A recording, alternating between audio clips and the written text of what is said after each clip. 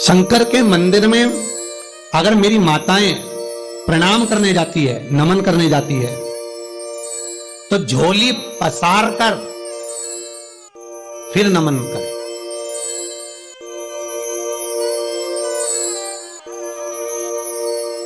झोली पसार कर प्रणाम करो। फिर आप मुँह से एक शब्द मत कहना कि मुझे सोना दो, कि चांदी दो, कि बेटा दो, कि बेटी दो, कि सुख दो, कि शांति दो, कुछ मत मांगना। बस झोली उसके सामने जो आपका साड़ी का पल्लू है, जो रुपट्टा है आपके सिर पर, उसको पहले फैला दो, फिर उसके सामने शीश को झुका दो। बाद में उसी झोली को वापस अपने बटोर लो कुछ मत मांगना, कुछ भी नहीं, केवल प्रणाम करना। झोली वो खुद भर देगा। तेरे मंदिर में आना मेरा काम है और मेरी बिगड़ी बनाना तेरा काम है। फिर वो स्वयं भरे फिर वो स्वयं सुख देगा, वो स्वयं शांति, स्वयं शीतलता देगा शमी के वृक्ष के नीचे, शमी के पेड़ के नीचे, शमी के वृक्ष के नीचे प्रत्येक महीने में शिवरात्रि आती है। हर महीने शिवरात्रि आती है, प्रत्येक महीने में। शमी के वृक्ष के नीचे तुमरुका जी का नाम लेकर महाराज एक घी का दिया उसमें एक काली मिर्च और एक लौंग डालकर घी का दीप जला देने वाले के घर में कभी संपदा की कमी नहीं आती। सत्ता और संपदा की कभी कमी नहीं आती। जिसका मात्र एक लोटा पानी तुमरुका जी के नाम से बटकेश्वर महादेव के नाम से शिव पर चढ़ा देने पर पात्र में झेल कर मात्र प्रदोष में स्नान कर लेने पर सफ़ेद चर्म रोग किसी की चमड़ी सफ़ेद हो जाती है, किसी की चमड़ी काली पड़ जाती है, किसी का शरीर में दाने दाने चट्टे चट्टे पड़ जाते हैं, उसका शरीर तक अच्छा हो जाता है, मात्र तीन प्रदोष में। ये वो तुम रुका जी। उसके दरवाजे पर पहुँच जाओ। उसकी चौखट पर जाकर निवेदन कर लो। और ज़्यादा तकलीफ़ है तो प्रदोष के दिन शाम के समय इक्यावन बेलपत्र लेकर उसके दरवाजे पर प्रदोष काल में पहुँच जाओ। और चढ़ाओ। एक एक बेलपत्र अपने दिल की कामना कर कर अगला प्रदोष दो। खुद कहे। क्या नहीं दिया बस अपना निर्मल मन चित्त वृत्ति स्वभाव, आनंद। में बीपी तो सबको होगा ब्लड प्रेशर तो ऊँचा नीचा सबका ही होता है। जाँच भी कराते होगे। कई लोगों ने तो मशीन भी घर में लाकर रखी होगी। बीपी जाँच की? जब तुम्हारा बीपी ऊँचा जाए, नीचा जाए, तुम तकलीफ़ में पड़े हो तो एक कटोरी में पानी लेकर तुम रुक्का जी का नाम लेकर पाँच बार शिव का स्मरण कर कर कटोरी में, हथेली में कटोरी रखना। तुम रुका जी का नाम लेकर एक बार ओमकार का नाद कर कर, ओम बिंदु का लंबा स्मरण कर कर, तुम रुका जी का नाम लेकर उस पानी को धीरे धीरे कर कर पीना और उसके बाद बीपी नाप लेना। ये तो कर सकते हो। एक बार प्रैक्टिकल ज़रूर करना। कहीं शिव गलत तो नहीं कर रही? उसका मात्र नाम स्मरण ही सुख दे जाता है, साहब। मात्र स्मरण ही।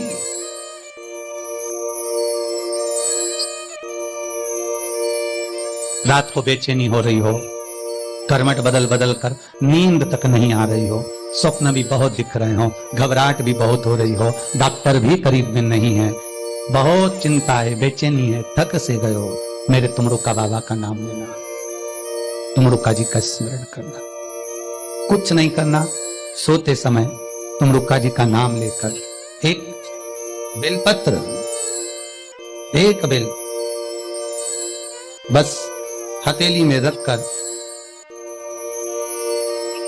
ये बेलपत्र का मध्य भाग बीच की उंगली पर रखकर बाबा को नमन कर कर, तुम रुका जी का स्मरण करना। बहुत बेचैनी, रात को बारह बजे, एक बजे, डेढ़ बजे, दो बजे, कर कर दे बहुत टेंशन है, बहुत चिंता है। बहुत व्याधियों में पड़े हुए हो, बहुत चिंता में डूबे हुए हो। बहुत टेंशन में पड़े हुए हो। सारा जगत का धक्का खा लिया, सारी जगत में होकर आ गए।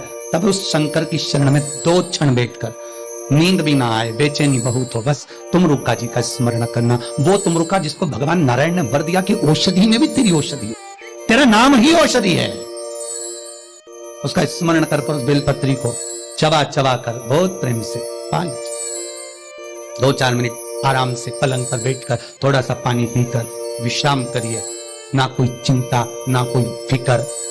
क्योंकि एक सिर पर आकर बैठ गया वो मेरा शंभु, मेरा कालों का काल, महाकाल स्वयं आया है, विश्वनाथ बैठा है। फिर क्या चिंता करना, अंदर शिव उतर गया। एक बेलपत्र में केवल शंकर नहीं है। एक बेलपत्र में ब्रह्मा, विष्णु, महेश तीनों ही समाहित है साथ शिव मध्य है, शंकर मध्य है, ब्रह्मा और विष्णु नज़दीक विराज। इसकी जो डंडी है ये डंडी नहीं। कहते हैं, जितनी बेलपत्र की लंबी डंडी रहती है, जितनी लंबी डंडी रहती है, उसमें तैतीस कौटी देवता विराजमान होकर शिव अर्चना करते हैं। तैतीस कौटी देवता शिव अर्चना में लगे हैं, बेलपत्र के रूप में। अंतिम समय में जब सबके प्राण छूट गए बैकुंठ से सिंहासन आया। धर्मराज बैकुंठ जाने के लिए चढ़ने लगे, कुत्ते को भी चढ़ाए। जो काला कुत्ता पीछे पीछे चल रहा है, उसको भी चढ़ाने लगे। आवाज़ आई, कुत्ते को तुमने सिंहासन पर चढ़ाने का प्रयास किया है, ये कुत्ता नहीं जाएगा। युधिष्ठिर, तुम चलो, पर तुम धर्मराज स्वयं हो तो यह मत सोचना कि तुम्हें वैकुंठ मिल जाएगा वापिस धर्मराज का पद मिल जाएगा।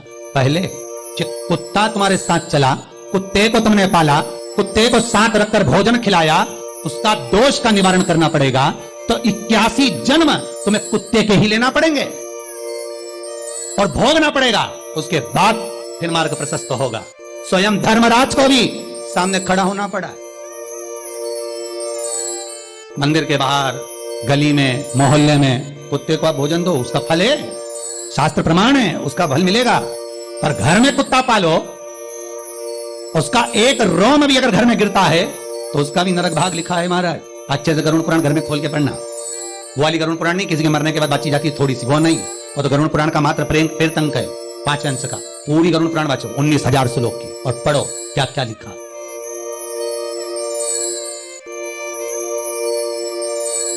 महाराज,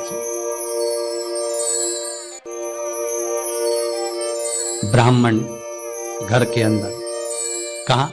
घर के अंदर। गौ माता, घर के आँगन में कुत्ता, घर के आँगन से बाहर होना चाहिए। पर करें क्या? ब्राह्मण और गाय घर के बाहर, कुत्ता घर के अंदर। अब बताओ तेरा क्या होगा रे कालिया? अब होगा क्या? ये भी तो निर्णय करो होना जाना क्या है।